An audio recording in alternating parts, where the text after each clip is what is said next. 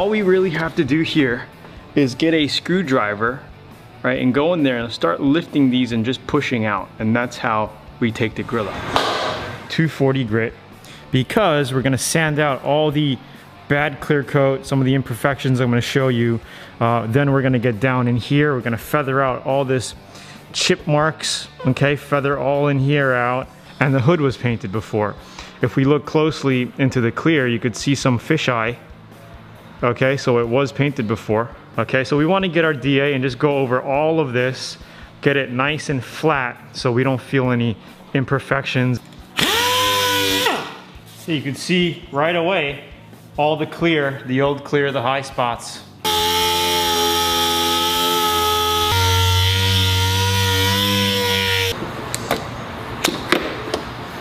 Okay.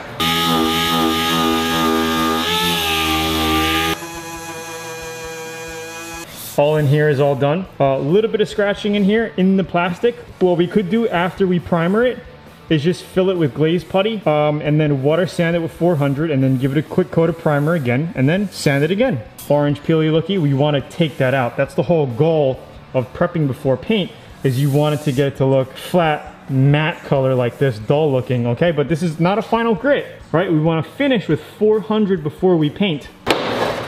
Now you could see the hood was painted before and they just masked around it because you could see some of the new clear coat build up, right? So we're gonna sand this area down, make it nice. Okay, this dent that you see right here is so small that I'm just gonna scuff this area with 80 grit by hand. And as you know, it's important to always blow off, all right, even under the hood, okay? Spray, you don't want dirt ending up in your paint job, right? So it's always good to have clean parts most as possible. I like to actually spray degreaser underneath, hit it with a brush and wash it all out clean if you're doing parts like this. But just for this example here, I'm gonna just do it with wax and grease remover. Take off our wax and then we could finish sanding. I had a guy once tell me, oh Tony, I, I opened the can of Bondo, this is a non-VIP member, and he's like, I saw all this glaze so I just dumped it out, right? No, that's wrong. You want to mix this stuff in because this is part of the uh, benzoyl peroxide and all that other chemicals in here that actually make the Bondo work and get hard when you put your hardener in there, right? I had to mix a little bit of Bondo up. Again, for every golf ball size of body filler, you want to put about eight drops of because I want it to get hard quick so we can finish and, and do our work, you know, get things done.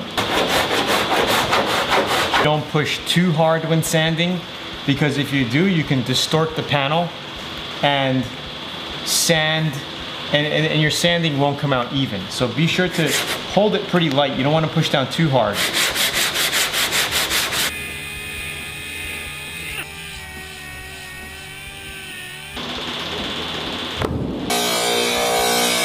To video this. I totally screwed up on the body filler on this piece here, the bumper cover, because I was in a rush, okay? And this is what happens when you don't put enough hardener in your body filler.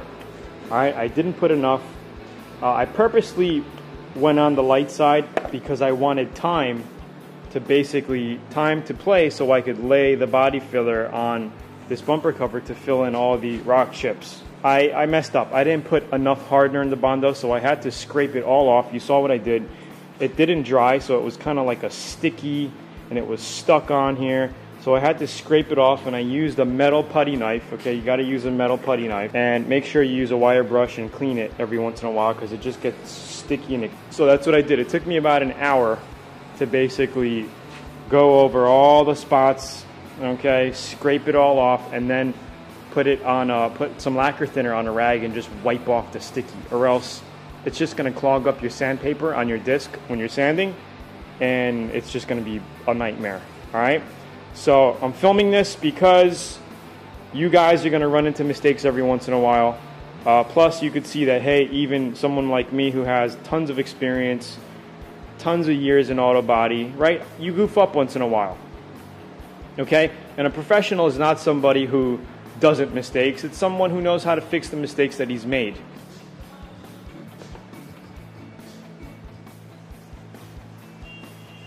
So another way you know you have wet, um, tacky body filler is that after you know an hour, two hours, it's still tacky feeling, and if you rub some sandpaper on it, it just clogs the sandpaper immediately. Scraped off the old Bondo. Uh, we basically wiped this area with thinner. It's clean for a new skim coat of fresh Bondo. Body work it, and then what we're gonna do is paint this panel so here's our new skin coat of Bondo really quickly. And after we do that, we're gonna rasp it just to take off the high edges, block sand it, 80 grit. Okay, uh, here what we're doing is basically washing every down, everything down with wax and grease remover. I'm gonna go ahead and spray our Evercoat filler primer on all of our panels. Heavy coats, fill in all the imperfections, and then we're gonna basically cut this down with 400 grit so as you see, we're just walking around the car. Um, all of the bodywork is pretty much done and primed. Just showing you a quick overview. We had a couple of spots on the hood, rock chips on the front of the hood, the front bumper cover, 400 grit on a block. That's called the holy block here. Okay, wet sand. And as I was doing it, I was like, man, this is taking forever. So I decided to just throw some on a DA. You could use 320 to 400 on a DA and just dry sand it down and that's what I started doing after a while. I was like, this is just too much. I wanted to get it done quicker. You know, there was a point where I used to do a lot just by hand, and you could do that, you know, and the jobs comes out really nice if you go by hand. Like what I'm doing right here is you want to finish by hand because you, with your hand you could feel all the little imperfections. So what I'm doing here is using an old piece of 400 so it's very smooth by now and I'm using it to wash the quarter panel down because that's where we're gonna we're also gonna blend into that quarter panel. Here I'm popping off the rear trunk emblem because we don't want it on there. I was only going to paint that top strip where my left hand is, but I decided to do the whole trunk because there was a couple of imperfections in the trunk as well. So again, I'm using the old 400 grit paper and I'm being very, very careful that I don't hit the light or the bumper. Feel free to pop out the light you know feel free to, to mask off the bumper cover if you want to. Also very very important to wash the complete car down before you do any paint job okay? And blow it off and make sure it's super super dry so the next day here is where you see me masking it off this is not the same day so I let it dry really good I called it a day and then the next day I blew it off really well before I started masking it and then showtime okay and you know I could have took out that back lens but I didn't want to. You know, it's all up to you. I just masked it up and uh, shot the quarter panel. Good base coat, about a hundred bucks for this quart. Remember, one quart will make two quarts after mixed with your reducer. All right, so one to one mixture. So for one quart, I would add one quart of reducer to make me a half of gallon. 36 ounces here. Four cups equals a quart. 8, 16, 24, 32. A cup is four ounces, right? Now, a cup is 8 ounces 8, 16, 24, 32. Four cups in a quart. Four quarts equal a gallon. Okay, so this is gonna make me a half a gallon of sprayable material. People say, do you worry about overspray? You know, you don't have to worry about overspray if you're doing base coat, clear coat. It's not that bad. It's not gonna make your tools and it's not gonna make everything in the shop a different color. But if you're doing enamel, acrylic enamel, a synthetic enamel paint job, single stage, that stuff will turn your floor whatever color you're painting. And again, I said in all my videos, okay, we're just gonna fold it up so it's palm size. One more time, just like this. You could tack between base when it's dry, but never tack between clear coat, all right?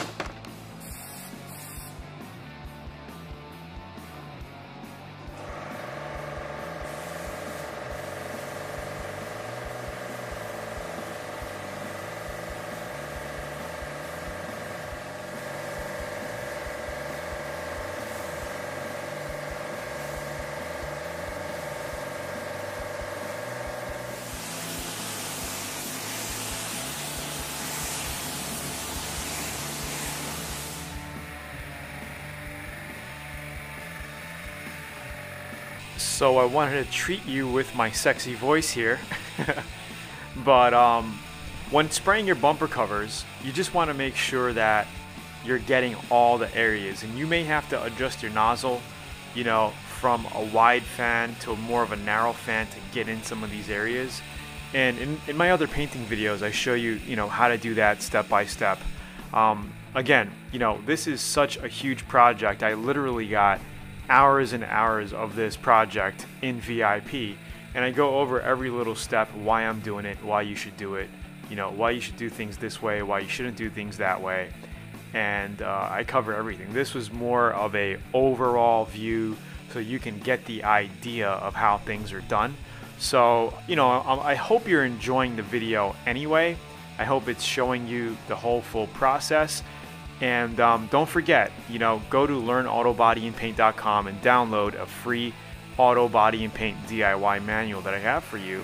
And um, I also hit you up with a special offer to join VIP after you do that. So it's all up to you. You know, if you want to take your auto body skills to the next level, uh, come join us. Come join the family. Right here, uh, we're adding our first coat of clear to the panel. And, you know, some people have different ways of doing it. Some people like to put on a, a tack coat and then two, two medium wet coats. I start off by doing a medium wet coat from the very beginning. I'm going to go around to the other side. And a lot of times when you're immediately laying clear coat on, you're going to see like little specks of dots in the clear coat. That's fine because it's just setting up. It's just atomizing on the panel. And it's just, you might see little bubbles, but that just disappears as it flows out onto your panel. All right, so let's go ahead and do our hood and we're giving this thing two heavy coats of clear. So right here I saw a little dust go in the paint so I just used my two pinking nails that I grow out to grab it out and on my final coat I make sure to you know bury it and really lay the clear coat on uh, the whole trunk this way if I have to buff it I have plenty of room to buff it and get it to a high gloss.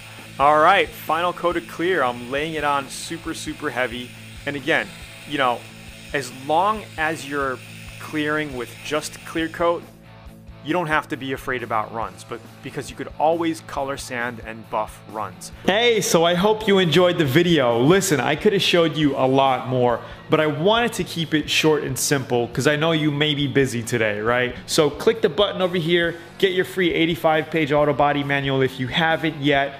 Subscribe, like, share, and comment. Thanks. I'll see you soon. Bye.